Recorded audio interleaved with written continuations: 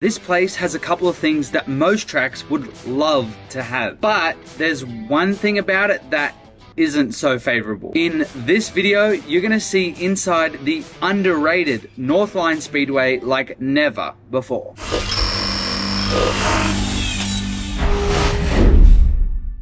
Okay, so let's start with the location. As some of you may know, Australia is pretty big for its population. And Northline Speedway is located in the very isolated Northern Territory capital city of Darwin. So, how isolated is it? Well, Australia only has eight capital cities, and Darwin by far has the smallest population of them all. And it's really really far away from the others. The closest is Perth at over 2,600 kilometers away, or about 1,650 miles from my Imperial friends. In fact, Darwin's next closest city isn't even in Australia. Anyway, Northline Speedway is about a 15 minute drive from the Darwin city centre. It's located in Hidden Valley, and I think it's called Hidden Valley because it's in a valley and it's hidden as you can already see, the dirt track isn't the only motorsport track here. It's just a part of an entire complex of different tracks that host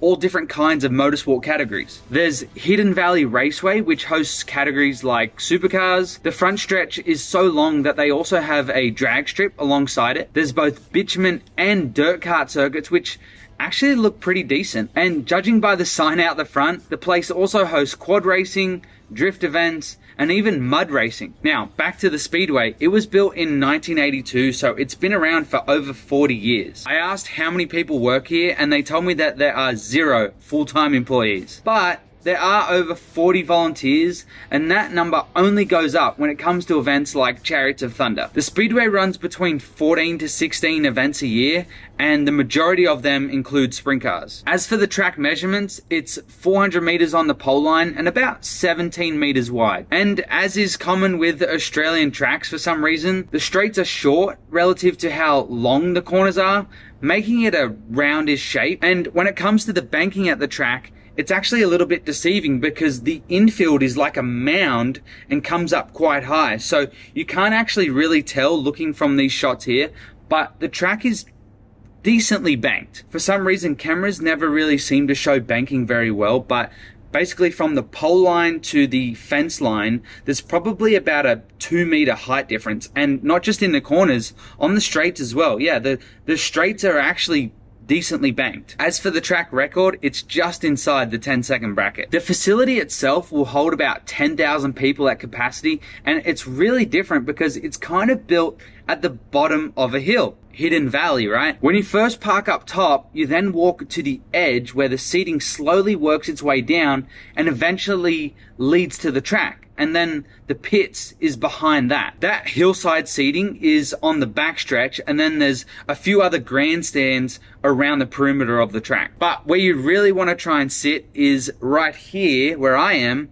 called the Park. The Park is their corporate hospitality area, which is a building situated here in Turn 1. Both inside and outside, it's got the best view of the track along with an air-conditioned room with a bar and catering. It's pretty sick. Other than that, the only other noticeable facilities are amenity blocks and then there's the race control tower where the commentators, timing, stewards, and production rooms are. That tower sits in between the in and out chutes of the racetrack. Of all the speedways I've been to in both Australia and the USA, not many have pits that are as nicely laid out as what Northline Speedway has. They've got these wide pit bays with concrete pads for the cars, and it's almost like a mini Perth Motorplex setup with their bitumen roads in between the row of hauler parking. And then, just like Perth again, Near the track gates are staging lanes where the cars wait to push out. I think the people running Northline Speedway have realized that to entice people to make the long trip to Darwin, you have to give them a facility that's worth going to. And when you look around the joint, they definitely have done that. Not many speedways have permanent big screens, but Northline Speedway does. They've even made purpose-built car recovery vehicles to make for a faster show. Their names are Tugger and Forky. And one thing that we're seeing more of these days is the electric electronic flag screen, which Northline have now added. It's the exact same setup as what the Motorplex uses. Okay, so what makes Northline Speedway unique and worth going to?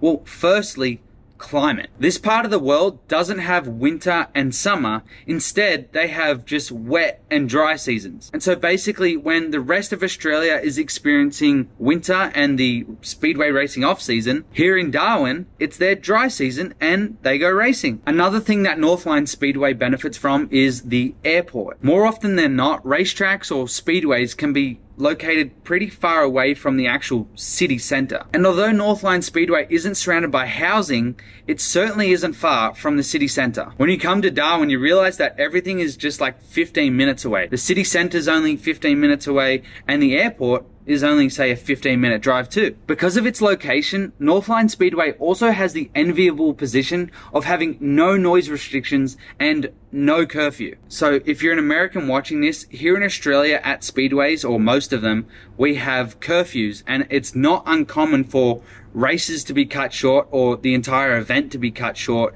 because the event needs to be finished by say 10:30 or 11 p.m. But although you don't want the show to run late at all, they just don't have a curfew here at Northline Speedway. Okay, so what don't I like about Northline Speedway? Well, first of all, I truly think that this is probably the most underrated speedway in Australia. I mean, if this track was located even three hours away from Sydney, Brisbane, Melbourne, whatever other major city, it would be hugely popular. And I think a lot more appreciated, right? But the one thing I guess to just dislike about Northline Speedway is that it's so far away from the rest of the Australian population and the rest of the speedway tracks that we have here in Australia. Don't get me wrong, it is 100% totally worth coming here every year, especially for events like Chariots of Thunder. There's so much to see and do. The weather is beautiful, but it's just not the sort of place that you're going to come and go from, especially if you're driving. So, with all of that said, what do you think of Northline Speedway? Have you been here before, or does it make you want to come here now? Please make sure you've subscribed to the Sprint Car Hub